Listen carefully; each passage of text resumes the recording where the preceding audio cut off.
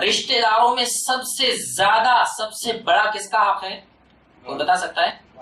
वालदेन का है। और वालदेन में सबसे अव्वल नंबर पे माँ है। सबसे पहली रिश्तेदारी जिनके साथ अच्छी तरीके से पेश आना है वो कौन है? हमारे वालदेन है। और वालदेन में हमारी माँ क्यों?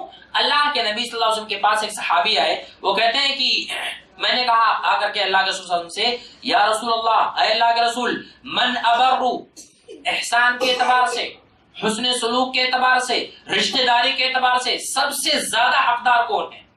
अल्लाह रसूल ने कहा उम्मक तुम्हारी माँ।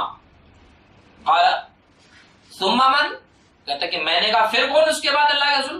कहा, तेरी माँ। कहा, उसके बाद? कहा, तेरी माँ। कहा, उसके बाद? कहा तुम अबा। का उसके बाद तुम्हारे अब्बा। उसके बाद अल्लाह सुम्मल अकरब फल अकरब। उसके बाद जो करीबी रिश्तेदार है। उसके बाद जो करीबी रिश्तेदार है।